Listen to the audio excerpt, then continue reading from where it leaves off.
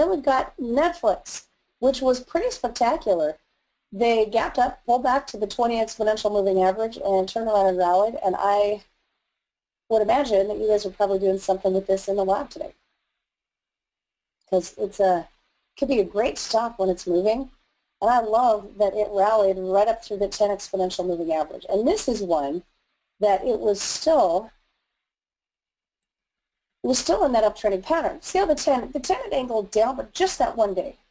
So it wasn't like it, the 10 moving average had gone flat for a long time. Still overall in that uptrend, but just one day downward angle because of the pullback yesterday. And today, that reversal where it bounced off that 20 exponential moving average and pushed higher and made it up to the 200 simple, all that is a really, really strong bullish signal. So one thing to think about, if you're doing swing trading and you're holding calls overnight, you'll see where it stopped, right? It's right above that 200 simple moving average. So you might think about using that as a, a stop for a swing trade. And another reason to do that is their earnings aren't too far away either. They're also on the 18th.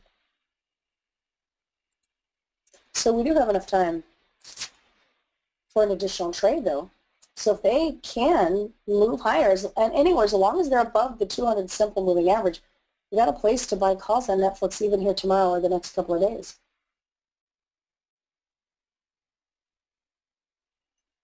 Let's see. Yeah, absolutely. Brand wants to look at the intraday chart. He said their, your entry in the lab was awesome. Um, oh, I love it. Bill said we got to do a value menu swing trade, 20 contracts up. I love that. 4,500 bucks so far, just today on that kind of a breakout move.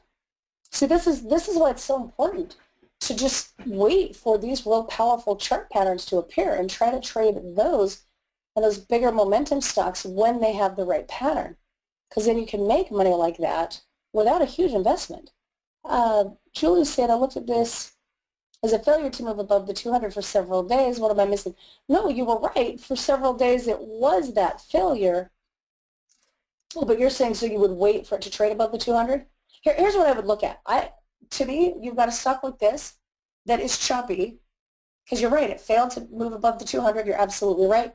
Was also not doing a good job of closing below the 10 until yesterday. So it was basically stuck. Choppy stock while the S&P is choppy. Pretty typical, right? So what, what would make this a viable candidate to trade before it broke above the 200 is just merely the fact that it's stuck in a choppy channel and you're basically trading, your initial thought is trading from here to here. So if it moves above the 10, you've got a place to trade it from the 10 up to the resistance, which is clearly holding, or had been, which is the 200 simple moving average. So you see the difference there? It could be a short-term day or swing trade just because you pulled back to a level of support. And yeah, it's super choppy. There's no real clear direction, but you have an opportunity to trade it just because it is a little bit oversold. And you wouldn't have known that until today when you see that bounce off of the uh, 20 exponential moving average and you see it move above the 10 and then you see it turn bullish engulfing, right? Yeah. So you're right when you see that. It sets up your trading time frame, right? And now today, by the close, it looks a lot better, and we do have the close above the 200. But there were reasons to get into a trade earlier when it was trading off of that 20 exponential. Let's look at this.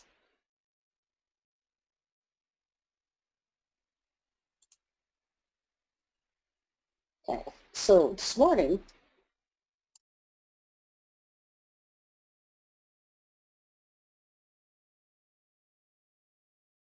this morning was looking like a lot of chop.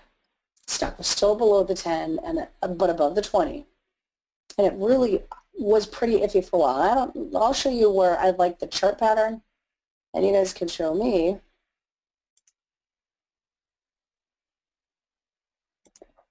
where you were trading it, but you'll notice this. So it trades down. It keeps bouncing around that 20 moving average, right? So it's trading down to that level, but just choppy and uncertain until that candle. That is where that chart, I think, should catch your attention. Now all of a sudden we have a breakout and on big volume. Before that, I think it was pretty uncertain because the stock was basically still stuck between the 10 and between the 20. This breakout, I think, is tradable. And if you want to wait for that candle to close, then you get in on the next candle that goes higher. And it gets you in around that 103.50 area. Oh, so that's right where you guys got in, basically right here on the next candle. I love that. Really nice. Wow. Good job. That's awesome. So yeah, and if you missed that first entry, well then over here you have another bullish engulfing with another entry. And it's up maybe another 50 cents from that first entry, but still tradable. So by that point, by the way, see on that big bullish candle with big volume, everything just there on that candle was a breakout above the resistance from the morning. So it basically broke out of all the consolidation of, and you'll notice for you know that chunk of time, Netflix stayed within the trading range of the first 15 minutes, all the way until 10:40 Eastern time, so just over an hour. It just was stuck. Now all of a sudden it starts to trend, but on this breakout candle, it not only broke out of the early, the, the morning high from the first five-minute candle, but it also, that was the area that it was trading above the 10 exponential moving average. So at that point, then, when you're looking at the daily chart as that's developing, you're seeing on the daily chart the bounce off of the, the 20, and you're seeing that it's up above the 10 moving average. And remember, the candle body from yesterday is just above 104. So it ends up turning bullish engulfing right over here on this next really big green candle at the uh, 11.05 Eastern time that time frame right there. And then you get these, you know, nice, oops, then you get these nice, the rally, and then you get these nice pullbacks, retracement to the 10 and a bounce. Right, so there we go. So that's your, there's your uptrending pattern that started today. And again, everything about it would have been, that it was a breakout of that first consolidation area and a bounce off that 20 exponential moving average, followed with the rally above the 10. I think it was a rally above the 10 that gave us really nice bullish entry signals. So Congrats to you guys this morning. I love that. So now if it continues to go, you can stay with your bullish positions and even add to your position. And a lot of this will come down to the S&P. What if the S&P ends up tanking tomorrow? Well, maybe Netflix will pull back. But, you know, people think that this company will have good earnings. It may fight what happens in the market. You may see this go even higher.